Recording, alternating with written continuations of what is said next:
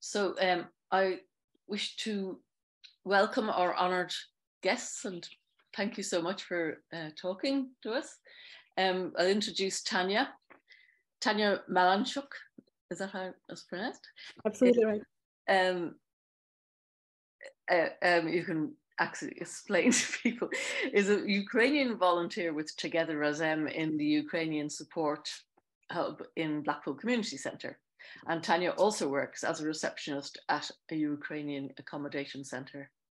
And our esteemed minister, Joe O'Brien, is uh, the Minister for State, Minister of State for Integration, but are you still the Minister for Community Development and Charities as well?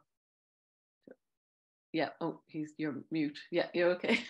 I, I almost did it. I almost started speaking on mute. Um, yeah, the short title at the moment is Minister of State, but Minister responsibility for community development, integration, and charities. Oh right, oh, this has to be one of the longest ones. Yeah, and Joe, of course, is a proud Corkman and um, has many years' experience working in community work and, and in migrant rights uh, so that's it. And it's hard to believe it's a year since the invasion and 75,000 people have fled to this country. And we, of course, welcome them. Um, but each protection, each person was granted 12 months protection and each protection has been extended now for 12 for 12 months which is much relief to everyone i'm sure so um, who would like to kick off of the speakers the speakers will speak for about 10 minutes each and then we'll be open to the floor and you can put up your hands then i have no problem with start if you don't mind probably just okay. to uh, introduce myself because um, minister is much more uh, famous no need to introduce him. Uh, so uh, i'm tatiana yes uh, and uh, i came here in april in ireland. I came in april 2022 and first of all i would like to thank you for the chance to share my experience to share a ukrainian experience here because i think that every story like um, is very different from each other. Um, and uh, what I want uh, to start is um, that very important for me, not only that I can share um, what I want to share with you, but thank you very much that you are ready to listen to this because Ireland uh, made so a lot already. Uh, but with all these discussions, uh, you just give um, evidence that you try even to improve everything you're uh, given to our people, to Ukrainian citizens. Uh, so as I said, I'm here under temporary protection. Um, and today I will try to uh, share information with you from two perspectives. From one perspective, uh, I'm a mother with a child here. Uh, who actually came as everybody else in the beginning, well, on the third month of the war. Uh, from another perspective, uh, during this period, I joined uh, the team of Together Razem and uh, saw and keep seeing um, situation from another side. Uh, a lot of information is coming to this organization and a lot of information um, should be shared because its experience, uh, this experience actually is important to to share with people to understand uh, their uh, situation, which is uh, on places. so let me please um, give several minutes to introduce the Together Razem Center. Uh, because regarding my own experience, uh, I can tell only uh, that I'm very, very lucky to arrived and to be like to be put in Cork. and all which happened uh, with me particularly, uh, starting from the beginning uh, of my arriving to Ireland, is like probably for me, I think it's the best scenario which can happen. Like I'm in a very good accommodation and uh, attendance to people who are staying there more than I think more more than 140 people of Ukrainian people in my accommodation. Uh, so people there really under greatest support of uh, staff of the hotel where I am, uh, and uh, all help of uh, charities around, of community centers around, they are priceless. It's it's it's really so. Uh, so coming back to Together Razem Center, because um, more information I would like to share today with you is connected particularly with information from this center. Uh, so uh, just to remind you that charity organization, this charity organization was um, um, opened, like start its activity in uh, 26, so in 2006, and initially helping uh, Polish migrants, but uh, its activity were extended to uh, Central and Eastern European um, migrants after, including uh, nowadays. Uh, we are trying to uh, provide services in Polish, English, and Ukrainian, Russian language also. Some people prefer Russian to speak with, and we uh, respect like uh, people's habits even uh, in this case so um, we tried to focus our activity on services provided but also there are a lot of things that we tried to provide support in like physical way um, our um, services can be divided on three different focuses. It's educational focus, uh, so it's English classes, it's some acad academical classes which are given to Polish people, to Ukrainian people. Some of them are online, some of them are offline. Uh, altogether, it's approximately, I think, seven groups now are running. Uh, and total amount of people who are attending them um, are close to 80, probably, or even a bit more uh, because we will run soon one more group, um, by the way, by support of uh, KTB. Um, it's only if you're speaking about Ukrainian people. There are also plans to open um, English for Polish uh, people who also uh, shouldn't be forgotten uh, because mostly uh, attention is now, I understand this, is uh, on Ukrainian people. So uh, we should keep balance uh, even in this case. Uh, it's educational part. Another part is a bit, it's better to say uh, support uh, day-to-day needs.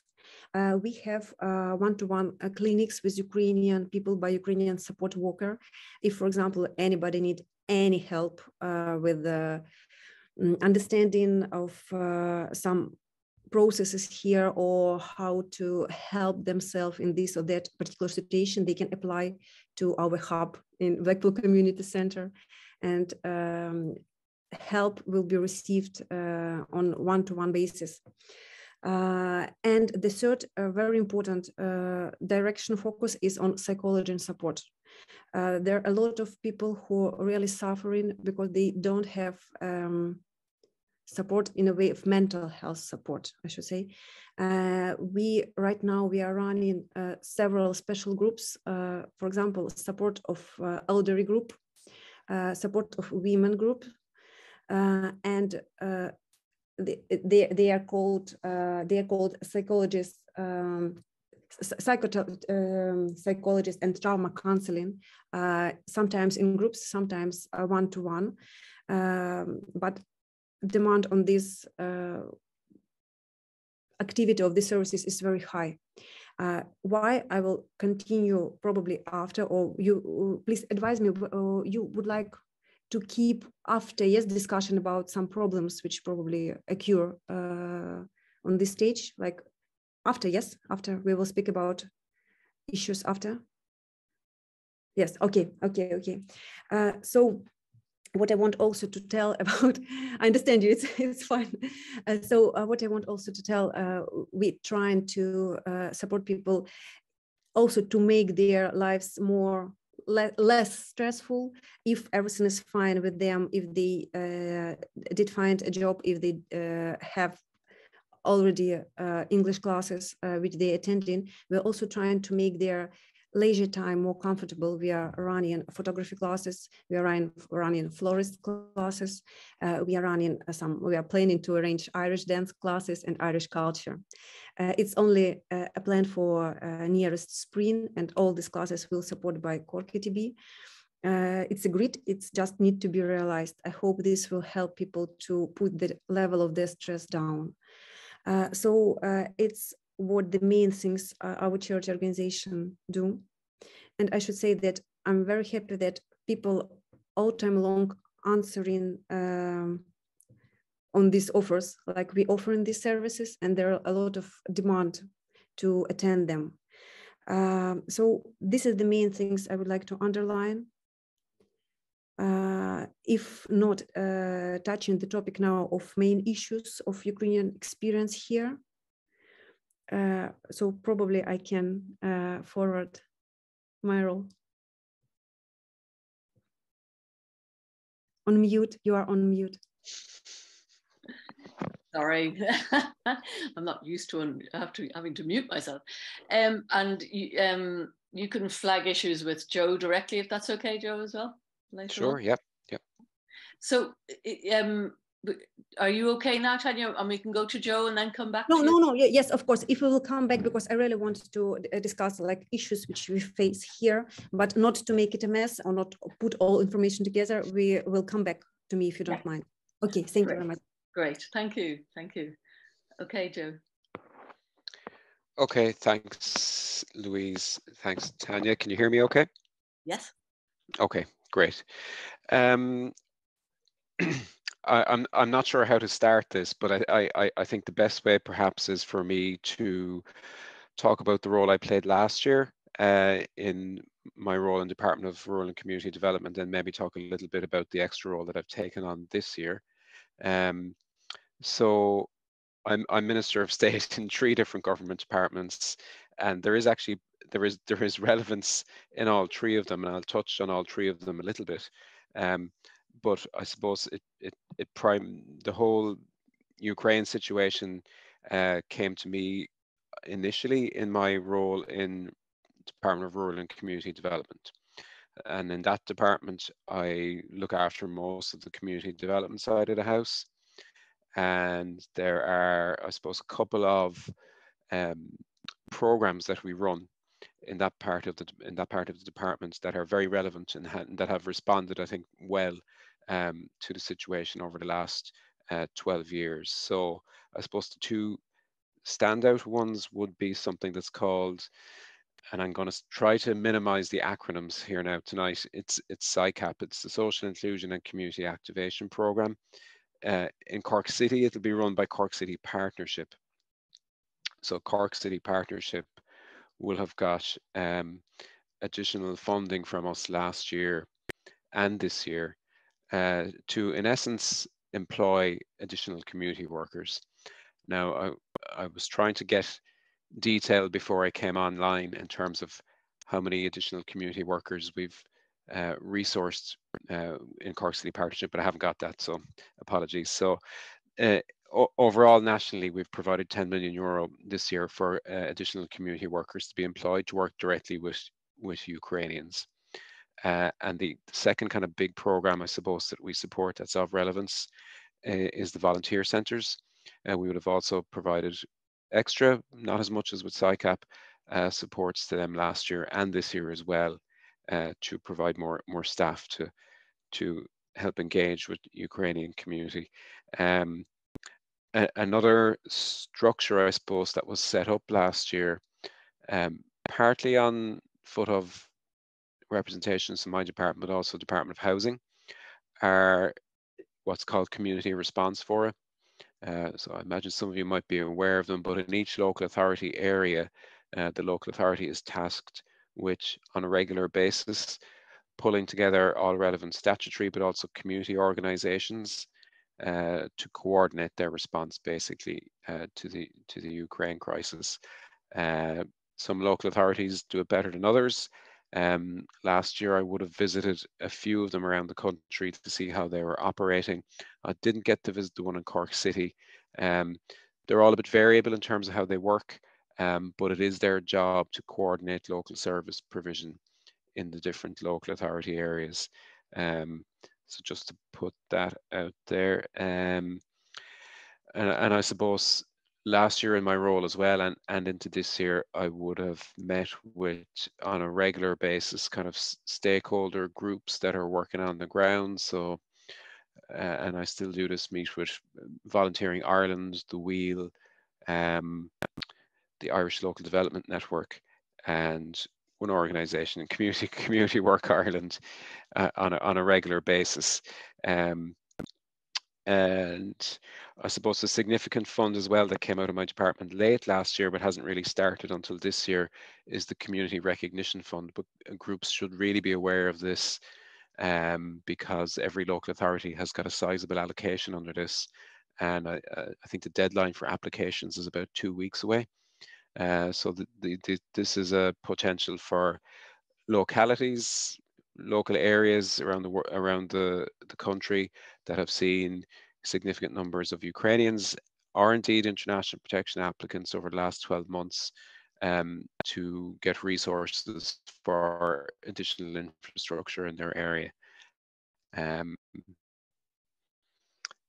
and this would be, I suppose, when I say infrastructure, I don't mean hospitals and schools.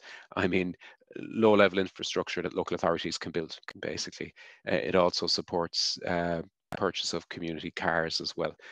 I, I, can I can send people a link afterwards if, if they're interested in more information about it. Um, sorry if I'm going into this sort of um, siloed way of thinking about everything in terms of programs and funding and funding and so on, but we can have a broader discussion afterwards as well. I just feel it's important that I name a couple of things up front. Um, uh, and so then some of you will know as well that um, just before Christmas, I was assigned this additional job. So basically assisting Minister O'Gorman uh, in the Department of Children as well. Um, and while I'm helping him out where I can, I have some particular delegated functions that are that are worth naming. Um, one to get the National Action Plan Against Racism completed and launched, and we hope to do that later this month. Another is to develop a new migrant integration strategy. I think that's especially relevant to Ukrainians going forward, and we can talk a little bit more about that uh, later. Uh, and then, kind of the third large bit is a new thing called the community engagement function. Um, so many of you will be aware that there are various communities around the country who have hosted accommodation in one way or another. And as time has gone on, it's getting harder to find more accommodation. And the accommodation that we are finding, uh, we need to use it straight away, which leads to situations with people coming into a community with no notice uh, and very little preparation, and people beginning to ask questions, uh, and other people doing things worse than asking questions in terms of protesting outside uh, accommodation centres as well. This has largely happened in the realm of international protection applicants, but it's relevant to the broader role that I have in terms of creating a new community engagement function in the Department of Children. I can talk more about that if you like. That that new function is still under construction, uh, mainly because the Department of Taoiseach has got involved and they want to shape how that looks, and then eventually they'll hand it back to us uh, and we'll start implementing it. Um, I skipped my third department, Department of Social Protection. Um, I won't go into all my functions there, but there is one particular relevant function uh, that will be of interest to people and that I oversee um, community employment schemes. Uh, so these are, on the face of it, they're job activation measures where somebody who's on a job seeker payment gets a slight additional payment uh, on the basis that they they work in a community organization for 19 hours a week. Um, but the big bonus of it is that there's uh, there's free training uh, that comes with the placement as well. Uh, so, for example, English language courses could be provided under a CE scheme as well. I, I mention CE schemes because uh, as of next month or as of tomorrow, um, more and more Ukrainians will start to become eligible for community employment schemes uh, because they've accumulated 12 months or more here uh, on a payment. Um, and it's potentially very useful because, as I said, primarily it offers people free training. Free training. Now you do obviously have to work in the, in the community organisation for for uh, 19 hours, um, but it's also a good way in terms of uh, community integration and preparing yourself for the job market as well, which is which was the primary function of community employment initially. Um, so just to put that on people's radar.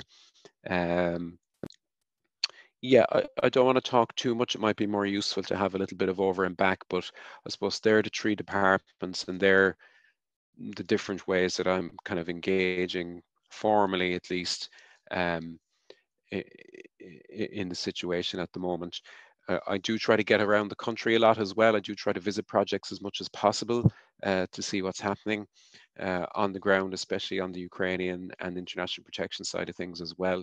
Um, I was in Cork last year, but it, I think it was before all of this kicked off, and I do go down regularly. So, you know, I might I might be able to catch up with you at some stage uh, during the year. But yeah, I'll, I'll, leave it at that for now. But uh, I mean, there's plenty more I can say um, on the especially on the accommodation side of things as well, and the different strands that are being looked at uh, in terms of short term and, and medium term and so on. Um, but you know, maybe for now I'll, I'll, leave it at that and we can open it up. I see there's hands up already anyway. Yeah, there's one hand up there. Um, would you, Tanya, would you like to ask Joe now or will we let Hazel have her question in now? I'm sorry, can you please repeat? Um, can we just let Hazel ask a question and then you can ask? Of course, yes, of course, of course. Yes, yes. Joe. Okay. Hi, Hazel. I'm very sorry. Can I please just slightly add uh, to one of the stated questions because it's also a bit uncertain if it's possible to put in this uh, part regarding um, payment for food. Uh, it, it, was stated that by Hazel that um, it's uh, there are some questions to this or that accommodation who are providing different food, um, and in any case, it should people should pay for it, or sometimes it's free. But uh, people start uh, telling us that some accommodation. For example, you know that uh, the price for food is set for 10 euros for adult person and 5 euros for a kid up to 18 years old but some accommodation asked to treat 12 years old uh, child as an adult for payment. So are there any certain, um, like are hotels and accommodation places uh, can set their own rules with this regard? Or uh, like this, this is uh, the moment which is uncertain for people. Okay. Mm -hmm. Okay, lots of detailed. What I would class as some some of them are kind of technical questions. I won't be able to answer all of them. Um, I I don't have the answer on the medical card one. I don't know that, uh, but I can I can chase that up. In and the other one that I'm not 100% sure of. I'm 90% sure of, but I'm not going to say it because you need 100%. Is on the host family side of things as well. Um, my understanding was that's largely an agreement between the host uh, and and the Ukrainian family, but don't quote me on that. Uh, let me get back to you on that so that you have clarity. Now, on the other points, maybe not satisfactory answers, but the best I can give. So, um, sorry, Hazel's first question in relation to food provision. It will vary all over the place depending on what the contract uh, entered into initially was. And as is obvious, we had to run fast. We had to take whatever was going in terms of any accommodation center that was offering. So there's lots of different types of contracts. There were lots of different types of contracts in terms of food provision uh, signed up to last year, depending on what the place was able to do and so on and so forth. However, I suppose to partly answer Tanya's question as well, there is a move to have the offering more consistent overall. And so you will see a change, but you will the object, the overall object is is that it becomes more consistent so that you'll hear less and less stories of people having different offerings in the accommodation that they're in. Um, just to say, I, I don't have delegated functions over over the accommodation, so I don't know it in as much detail as Minister Gorman or, or his or his staff might, but I'm after learning a fair bit in the last couple of months, so I should be of some help. Um, on the social welfare payment side of things, Hazel, I mean, what I'd say is people's social welfare payment is tailored to their individual circumstances. And like in a previous life, I would have dealt with people on a one-to-one basis who were engaging with the social welfare system and very often thought that someone in the same circumstances then was getting a different payment, but almost invariably the circumstances differed in one way or another. That said, uh, if people are short, there is a problem. It could be that they're not getting everything they're entitled to. And just as a sort of a fail safe, uh, I would say people are always entitled to apply for an additional needs payment. Um, that's that's a very short answer now in terms of what I'm able to give tonight without being able to dig into people's personal circumstances, but they're just some kind of general reactions. Um, contracts may expire. In your third question, yes, people are no doubt living um, in accommodation at the moment where the contracts are due to expire. Um, it is obviously our intention to try to keep them contracts renewed in general, and this is just a general overarching statement, most of the service accommodation contracts that we have for, for, for Ukrainians are tending to roll over and continue. That's a general statement. So there will be situations where they don't. Um, the provider very often doesn't tell us till late in the day as well as to whether they're renewing or not. Uh, so I know that can be an issue, obviously, for people who've settled in. Um, your question, can people move accommodation? Generally, no. I mean, uh, we're, I suppose we're under pressure to find accommodation at all for people at the moment. Um, I, I wouldn't rule it out though if there's like exceptional circumstances. So like if there is a family accommodated in Donegal and half their family is in Wexford for whatever reason, you know, I, I would imagine at a case like that could be looked at to bring people closer together in a situation like that. Uh, but my understanding is generally uh, getting moved around in service accommodation, people don't have the option at the moment, unfortunately. Um, giving all bad news here, unfortunately, but um, in terms of English classes and, and ETB, yes, this has come up as an issue, the very issue that you described, and that there's basic English language uh, provision, but when you go on to a more advanced level, it's not available. Um, I mean, this is an issue for Simon Harris's department. I'm not passing the book here, but I, I specifically wrote to him and other ministers last year after I had, it was actually after I visited Kerry and visited the community response fora in Kerry, and it had been, I think, the third occasion that I had done a county visit, and the issue around uh, access to more advanced English language courses was raised. So I said to him last year, I wrote to him formally last year before the budget and said, basically, you need to budget for more English language provision this year. I understand that's been done, but it's not translating yet in terms of what the various ETBs are able to offer. Um, but that's that's a real issue that I recognise. Um, in terms of the social housing thing, no, there isn't. That's a black and white answer at the moment. There's no entitlement to apply for social housing uh, at the moment, unless there are Ukrainians here who have become Irish citizens, and that's a whole different ballgame. Um, um, what the plan is, medium to long term, hasn't been decided yet. Um, so that's sorry, that's a quick sort of superficial enough answer to some questions there, which are which are ultimately the full answers are, are more detailed than what I can give um, on the spot. But happy if you want to, either of you want to email me more and, I, and I can come up with something more comprehensive. Tanya, do you have another question or does everyone, anyone else have a question? No, thank you. I'm I'm I'm fine. Okay. I, I mean, we, we had a meeting today with e, ETB in Cork, and um, the difficulties getting tutors is actually huge. So, and, yeah. and it takes, it, it's very um, protracted, the actual system of getting them employed is very difficult. But I think Simon Harris is working with the ETB. It, it, yeah, he's aware of it. And like it's, it tends to be the issue, sorry, Tanya, to cut across, it tends to be the issue with a bunch of public services at the moment. I mean, we've put money behind them, but the difficulty is getting um, getting the people. The country is growing faster than we can keep pace with. I think in terms of public services at the moment. Yeah, Tanya, you were just about to say something. Uh, just, just a comment Sorry. that at the same time they're very, very helpful. Like uh, they are offering a lot of options. For example, all our uh, teachers like, who provide English classes and uh, other activities.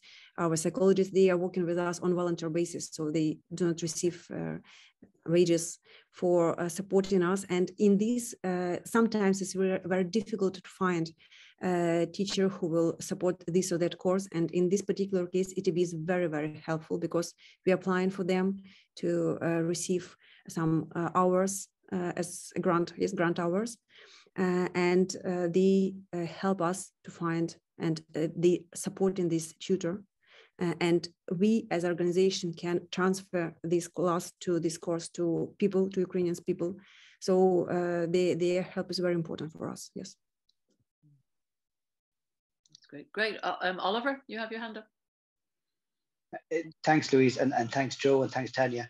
Um, very very useful and, and, and, and good discussion so far um, and very insightful. Thanks everyone.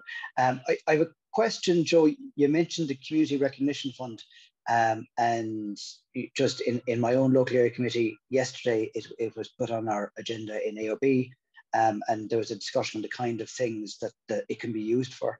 Um, I, I, I, think there's potential for it to be very positive, uh, but we were trying to get a kind of a sense of the scope of it and, and what kind of things uh, we should be looking at.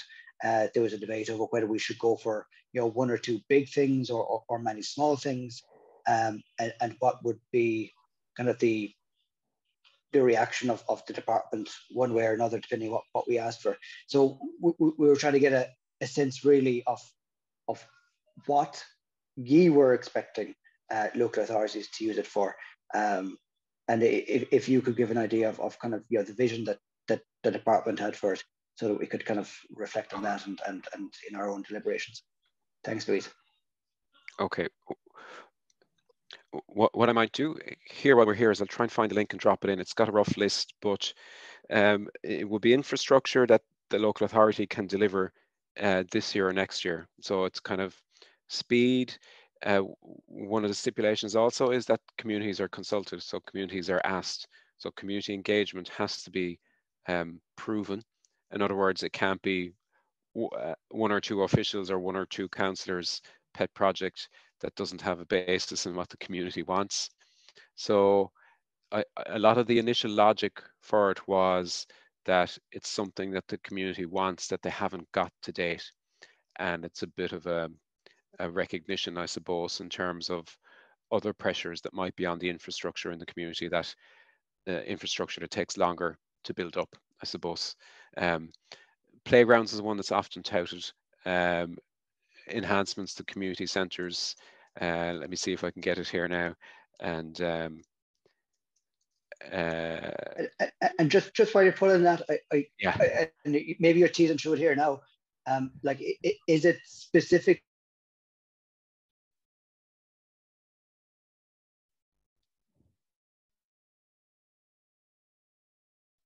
Oliver, you're frozen. Sorry. Is everyone else okay? yeah. That was my end when I started using my when I started using a, another function there. I'll just I'll look for, I'll look on a different device in case it kills it again. Uh, I, I I'll try the question again. So it, it is the question Useful. is is it is it things that are in response to the to the Ukrainian crisis, or is it you know the needs that have always existed in the community, and this is an opportunity no. uh, to, to, provide them. It's the, it's yeah, it's the second one. Yeah, it's it's the second one. It's it's the needs that have always existed and have been proven, uh, and that um, and that you can easily write up and submit in the next four weeks. Basically, there's a big delay on this. Sorry.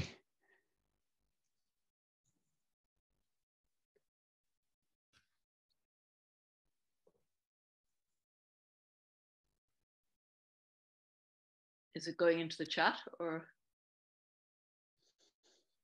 Can you hear me? Yeah. I'm not going to put it into the chat because I'm worried about my Wi-Fi here. If I actually open another web page, will it actually crash? Well, but I, I can. It's not difficult to find on Google. If you put in a community recognition fund, you'll get it. I can read it out here very briefly. Um, so uh, types of project eligible for funding are development, enhancement or refurbishment of community or cultural facilities, including play areas, walkways, parks, uh, gardens, recreational areas, development, enhancement or refurbishment of local club and sports facilities, um, enhancement to school or parish facilities which are open to use by all of the community, uh, purchase of equipment for local clubs, festivals, community events and organisations, music, arts or sports equipment, transport infrastructure, such as the purchase of community vehicles, um, bus shelters or information boards. And the final point is purchase and refurbishment of buildings and or purchase and or purchase of land for the development of community facilities such as play areas, multi-use games areas, uh, gardens, etc. So, so it's very, it's very open to local communities. It is very is very open, but I, I, I know from internally in the departments they want good proposals that show that it's the community that wants it, that there has been an engagement with the community as well. Yeah. Uh, and like I would, if you've got if you've got big proposals that have a good solid backing and are well written up, don't hesitate uh, to, to throw them in, you know, because there's a fair bit of money there, I think. There'll be some come next year as well. Okay. Now, does anyone else have a question?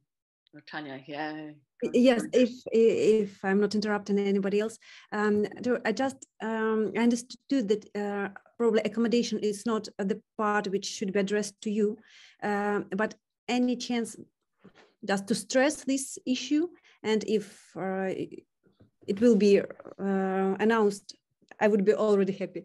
Um, regarding accommodation for people with special needs, uh, because we faced some situation recently, like uh, it was um, a family uh, with two people on wheels. Yes, am, am, am I right? Yes, uh, chair wheels. and the problem is that they were in City West and only one hotel all around uh, the whole Ireland could accept them.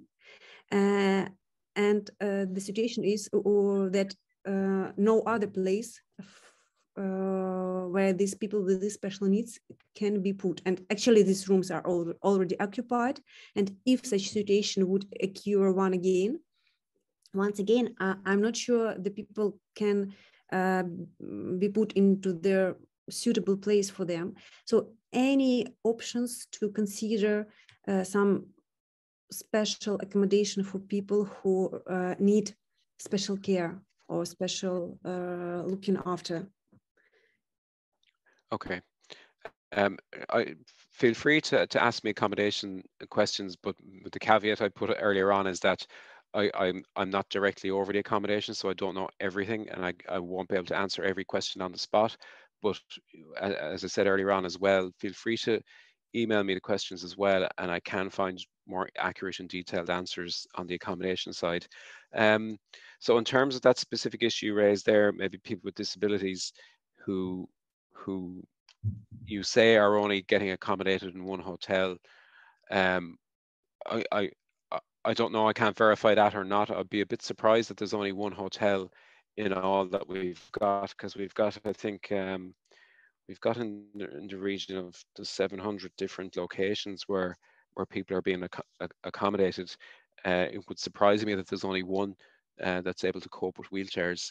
Um, but I do know that um, Ukrainians are spending one, one night in City West maximum, so they are going somewhere. Um, but as I said earlier on as well, in terms of the option side of things, uh, people don't really have options. But I would, I would imagine that efforts are made to accommodate people appropriately if they're if they're in a wheelchair. Um, I, I can find out more about that if you like in terms of where where people are being sent. I, I find it difficult to believe that there's only one hotel that can can accommodate people because hotels are bound by um, equality legislation here in terms of uh, accessibility it's it's all information I got from Cork City Council. Like uh, there, uh, the people were put through this. Uh, actually, the hotel in which I'm uh, staying now. So I uh, I hope the information I received was like a proper one. So and uh, the problem is they were put to Limerick first, and then they due to not like good condition for themselves for, for them they were come back to city west and after several days there the only one place uh, which was uh, founded for them uh, was our hotel. So well uh, probably free like i mean there are a lot of places av- were available but only free uh, hours was. Um, probably it's it, it could be at a particular point in time when when they needed accommodation Probably Sorry. it's like cir circumstances, but uh, in any case, my, my question was more like, uh, would it be chance to uh, to set special places in any case, like uh, for with, with with somebody who can uh, look after them there. But again, this question is not to you. Understand this? Yeah, I, I, I'm guessing the circumstance you described was one particular case at a point in time where the staff in City West could only locate one hotel on that particular night. Um, I, I, as I said earlier on, I would have thought every hotel, at least theoretically in the country, should be able to accommodate people that are in a wheelchair. Um, I think you have an additional question there, though, in terms of support staff as well. I, I think that would probably then link in to the community response for who should be linking people up with the relevant support services in the area as well. The HSE should sit on uh, the local community response fora where, where someone is. Mm-hmm. Um, now, whether, and I've no doubt there are probably people in some situations who need a support person to travel with them from City West to wherever they're going. Uh, to what degree that happens, I, I, I don't know. I'm not over the detail of that, uh, but I can find out more if you want to drop me a line. Mm-hmm. Thank you very much. Um, if there's a lull, can I just ask something? um, as part of the your plan against racism, Joe, um, mm. what can be done to prevent the awfulness of the protests outside houses and outside accommodation centres? Oh wow, well that's a big question. Um, uh, look on, on the plus side, there is I suppose, actions happening slowly um, at a government level. So in the Department of Taoiseach, there, there are two things being looked at at the moment. One of them is um, that project I mentioned earlier, the development of a community engagement model um, that will, I suppose, in a better way, prepare communities for a new accommodation centre that's happening and do work to help the community engage with the residents that arrive as well. That will help to some extent. Uh, but then also there's a separate project happening in the Department of Taoiseach's around a public communication message, um, recognizing the fact that a lot of what's floating around on social media at the moment is inaccurate and scaremongering and very problematic. Um, so there's a strategy being developed in terms of how we counter that and counter uh, the misinformation as well. I, think when that comes on stream, it will help. Um, I still think, unfortunately, we're in a place where you're still going to get a minority of people who will still protest outside uh, accommodation where people where people are staying. Uh, I, I, I don't know if we can obliterate that 100% um, because some people you can't uh, turn or change or um, help see the light, I think. But I think we can improve it quite a bit from where it is now. Um, so there, I mean, they're they're the two general sort of pillars that we're, we're we're planning on. We don't have them set up yet. I wish we did. They're moving much slower than I would like them to. Um, but on the plus side, it is the Department of Taoiseach that's pushing them, which means, um, you know, they will be resourced and um, they will have whole of government backing as well, but it just takes a little bit more time when it's in Department of Taoiseach. Um, so they're the two general ways how we, we're going to try to counter that. Okay. Um, anyone else with any ideas? and just to say on a broader level as well, uh, uh I, I see it as part of my job for the next two years, we'll say, being optimistic. Um, that um, you know I will be going to communities, and I have started doing this already, seeing where um, those communities are engaging well with protection applicants, be they from Ukraine or other countries, and using them examples and trying to spread that out a bit wider. So, for example, um, I was in Tipperary a couple of weeks ago, where um, people in Roscrea and Borrisokane the community groups there are, are working very well with the people that are living in the accommodation centres there and I'm going to use some of the examples that they that they have been or some of the models that they have been using to try and push them out uh, at a more national level as well. So, for example, the Men's Shed in Roscrea are running a really good project that I think could, could be replicated uh, across the country. Right. Right. Um, we're hoping to get a women's shed going, Tanya, in Blackpool. um, Tanya, how do you feel about your welcome here generally from Irish people? Uh, for me, uh, all experience connected with uh, welcoming of Ukrainians people here, actually, for me, it's amazing. I never heard and never saw negative.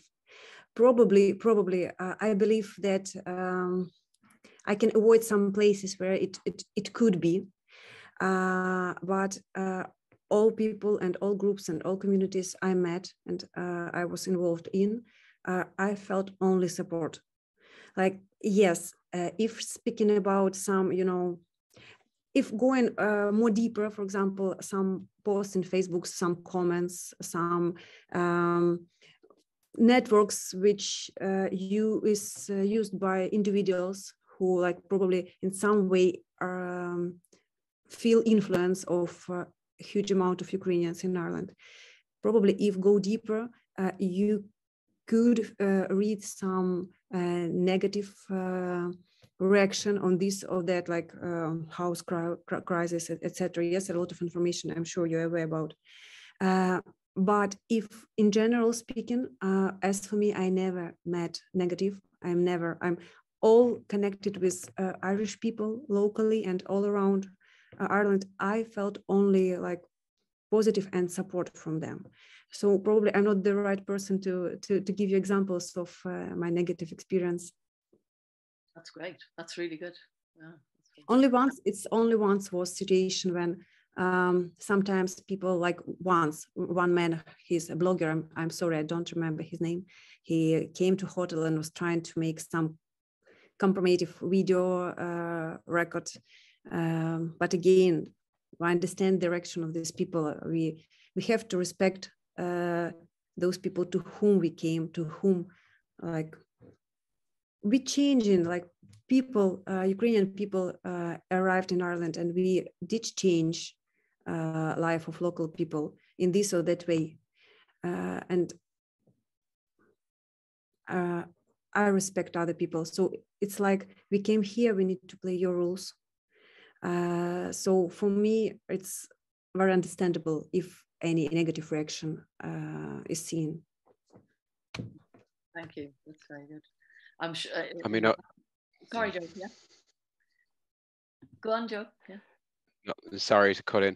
No, I, I, I mean, and, and it's hard if if you spend any bit of time on, on social media looking at the wrong people or the wrong pages, it, it's hard to accept that the fact I think that by and large the community response across Ireland has been un- unbelievably positive. Um, and, and those that protest and those that post rubbish on, on, social media are very much in the minority, but they too do tend to get, I suppose, um, amplified uh, because of the nature of social media and because of the nature of mainstream media who you know are obviously drawn to, to negative stories it's it's not going to make the front page of the irish times or the rt website that the community response across the country in general remains extremely strong. Uh, it's just not that newsworthy anymore. The negative stuff just tends to get more clicks, you know. So that's that's we have to we have to battle against that a little bit on on a number of fronts, really. But uh, by and large, in terms of where we are, uh, it's it's still a good place. Uh, but that's not glossing over uh, where there's uh, there's still an increasing number of flashpoints that we have to get on top of as soon as we as soon as we can. Yeah, yeah. is there anything the, the, the ordinary person can do just um, in addition to what we're doing already? you know, can you think of anything, either of you? I'm very slow to ask anyone to do anything additional because I do genuinely think uh, that the the response has been quite good, especially anyone who's engaged in a community group. Um, but you know, the normal conversations uh, uh, and I think this is where it's particularly dangerous over the last couple of months, where reasonable people start falling into using the, the tropes that are online as well in terms of you know male asylum seekers in particular and all sorts of all the fear mongering around that i mean these people are coming to the country looking for protection and there's no evidence of all the kind of neg- the negative sort of assumptions that are being attached to them as well. Um, and you know if you're having a conversation and stuff like that drops in i don't know. Try to just maybe politely question the validity of it or the veracity of it and whether facebook is a really good um, source to um, to to build your opinions from you know um, uh, but but in general I, I would I wouldn't be inclined to ask more uh, from anyone in a community group that's been helping in one way or another. I, I, suppose we do hope in government to be able to give people more tools to do that in a, in a way that kind of brings the country together a little bit more in terms of the community engagement model, but in particular that that communications campaign as well. So you will be seeing stuff on social media uh, that uh, contains facts uh, and attempts to address some of the misinformation there as well. So when that comes, you know, please share it. Okay, thank you, thank you. I was just about to wrap up, and now we've got two hands up. John. Uh, th thanks, Louise, and thanks, uh, Tanya and Joe. Um, I'm actually working in a youth organisation right in the city centre in Cork, Tanya, and uh, YMCA Cork, YMCA Ireland. Um, and we're also we're already working with with some Ukrainian young people. So I suppose what I'm saying is, um, I, will put my contact details in the chat. So if you want to reach out, like we're doing a lot of varied youth work in the city. Um, so if there are some Ukrainian young people, 15 to about 22, um, you know, if you want to talk to me, reach out to me, and we can try and find a pathway to. We're already working with a few people, good few people. We worked with a huge group last year and we'd like to do it again. So look, I'll put my contact details in the chat. Um, reach out to me. We can have a conversation. Come in and visit us someday, and kind of build a bit of a bit more of a bridge between two organizations to to help some of the Ukrainian young people who probably are already around the city centre anyway. Um, and there's lots of opportunities for them just to drop in, have a cup of tea. There's music. There's youth, you know, youth spaces. There's a lot of opportunities there. So I just want to um, just make that offer directly to you, and I'll put I'll put my email and uh, work number in the chat there. So reach out to me if you if you if you choose to do so. Okay, and thanks for your contribution. Thank you very much. No problem. Thanks, John. Liz, would you like to? Yeah, hi, and thanks for your presentations. Um, so I'm right down in Bantry and West Cork, and um, we've got lots of Ukrainian um, single people and families down there. And I mean, I think that on the whole, it's going really well but um, I do get a lot of comments. I work in a couple of different charity shops, and um, I get a lot of comments from some of the population, general population, that are quite um, verging on being racist and unpleasant. And I usually sort of say, "Oh well, you know, this Ukrainian lady regularly comes into the shop, and she's really nice." And I sort of you know just talk about the positives of, of, of the Ukrainian people that I've met. So that's that that's how I deal with that. And I had an idea that a bit like what John just said, actually, that but if there was something like that for adults almost, there was a um, a community cafe or something where people could go, could pop in and have a cup of tea or say every, I don't know, Thursday evening or Thursday afternoon or whenever, whatever time suited, that, that, that the Ukrainian people could come and and and and share food and drink and whatever. And um, then if you came across somebody who was being really, really negative, you could sort of say, well, why don't you come along with me to this cafe on this afternoon and come and meet them? They're lovely people. And I think you could very quickly change their minds. So that's just just an idea from me, but um, I don't quite know how to go about that. Okay. Can, can I comment, please? Uh, actually it's, it's really a good idea and more communication with irish people and ukrainian people are needed. It's it's really so. Um, we still have problem of language barrier. We should admit it yes. Uh, probably uh, also due to this problem there are some misunderstanding uh, like the one you described. Uh, one of our charity organization plan uh, for uh, next half a year to uh, start running, uh, we called it like Ukrainian club. Uh, it will um, run by Ukrainian people for Irish people who are interested in uh, Ukrainian culture. Uh, for example, it's, it's a way to understand the culture, to way to understand people better. of course, you absolutely uh, right that probably only those people who positively uh, treat Ukrainians will join this club. Yes, probably those who have some negative feelings, probably they won't uh, pay attention to to this or that club. But probably the first step in any case. There's a lot of similarities. There's a great music culture in the two cultures. You know. Some great singers in Blackpool. you heard them, yes. Um, we we and we need to invite you formally, Mr. Minister Joe, to, to Blackpool and come and come and see our community centre and and Razem's office and hub as well. We, we really invite you and please uh, take this chance to visit Cork and go into our both places. Yeah, no, no, I'll get there. I, I, I would suggest actually writing formally because there's a system inside where I I have a list of um, visit requests, um, but uh, I, I usually get through all the Cork ones anyway. I can tell you that much. We're waiting for you. right, we'll write officially to you. well, that's great, folks.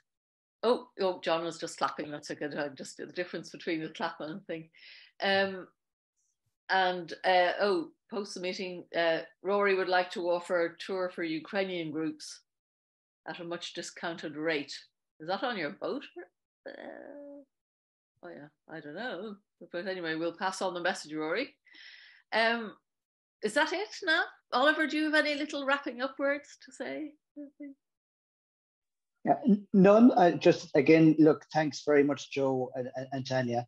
Um, it, it, just so people know, it was it was last week I contacted both Joe and Tanya, and and um, you know, in the context of seeing the, the one year anniversary of the, the unprovoked invasion uh, was coming up, um, and just to thank you both very much for for giving your time this evening. I, I Tanya especially, um, it, it, it's great to hear directly from the you know a, a, member of the Ukrainian community about the welcome and about the issues that you're facing, um, and and what we can all do. So thank you very much for for your time tonight. Thank you very much for your uh, will to hear it. Thank you very much for organizing this event. Well, it was it was a pleasure to hear you. And Rory is still putting out cultural trips down in West Cork on a boat. So get in touch if you need to. Thank you so much, Joe and Tanya, and everybody with their. Thanks, everyone. Thanks, Tanya. Thanks very, Thank much. much. See you again. Bye-bye. Bye. Bye.